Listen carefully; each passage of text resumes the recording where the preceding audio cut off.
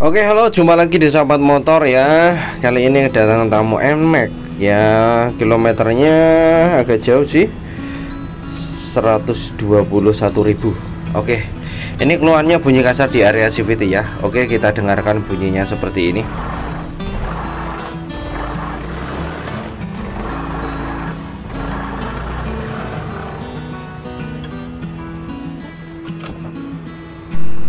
Bunyinya seperti itu ya kayak seperti ada bagian CVT ada seperti kayak fan bell slip dan ada yang gesekan besi lawan besi ya. Itu bunyinya seperti kayak fan bell slip dan gesekan besi lawan besi. Oke ya. Tahap selanjutnya kita langsung bongkar aja di area CVT ya untuk memastikan apanya yang bermasalah. Sebelum lanjut jangan lupa tolong di subscribe ya.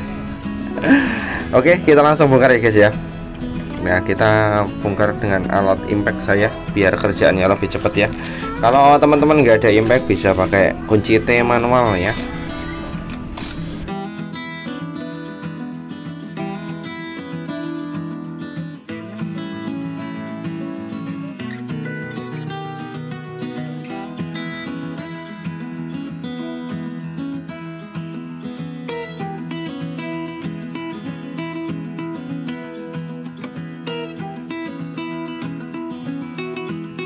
Oke ya teman-teman. Ini udah selesai dibongkar dan dilihat bisa dilihat ya teman-teman.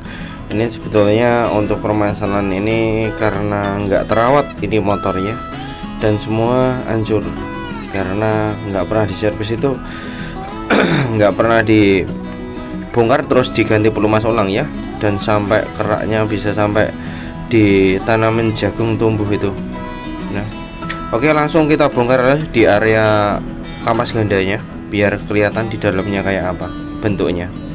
Oke ini udah saya bongkar dan kampas gandanya memang udah hancur. Itu wajib diganti ya kampas gandanya. Ya sampai parah kayak gitu.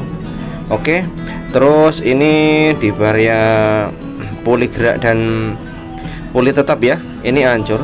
Ini sebetulnya di dalam puli gerak dan tetap kan harusnya ada pelumasnya ya teman-teman kalau misalkan punya motor metik itu setiap 10.000 sampai 12.000 itu wajib dibongkar ya di area belakang dan dikasih pelumas ulang. Dibongkar dibersihin dicuci semua terus dikasih pelumas ulang di area puli belakang dan puli depan ya. Ini udah saya ganti yang ori ya ori semua ini. Oke okay ini udah saya kasih pelumas di dalamnya terus kita langsung pemasangan aja ya. Ini yang diganti ya itu satu paket kayak gitu hancur semua ya. Pokoknya jangan intinya teman-teman jangan sampai lupa ya setiap 12.000 km lah maksimal itu dibongkar dicuci semua dibersihin pakai bensin terus sil-silnya yang bocor diganti terus sama pelumas ulang ya di area puli belakang itu yang ini puli belakang ini ya biar nggak hancur kayak gitu ini sebetulnya nggak ada perawatan sama sekali ini motor nih. Oke kita udah kencengin ya. Terus kita lalu pasang di motornya ada. Itu udah saya cuci. Depannya rumah rollernya pin slednya udah tak ganti biar nggak bunyi. Oke ya kita langsung pasang aja di bagian motornya biar tahu ini masalahnya apa? Terus kita hidupin motornya. Kalau yang udah sembuh ya perkaranya cuma ini ya masalah utamanya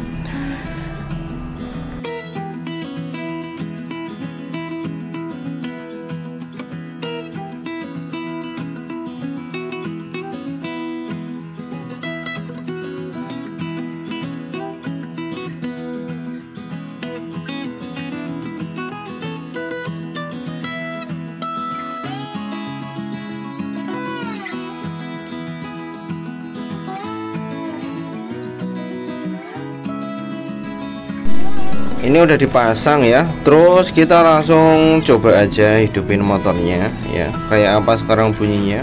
Kalau emang udah halus kita langsung tutup kita langsung coba ulang ya. Coba pakai jalan maksudnya. Kalau nggak ada problem kita fix. Emang permasalahannya cuma di puli belakangnya hancur. Oke? Ini aman ya. Kita langsung tutup aja terus kita langsung coba jalan ya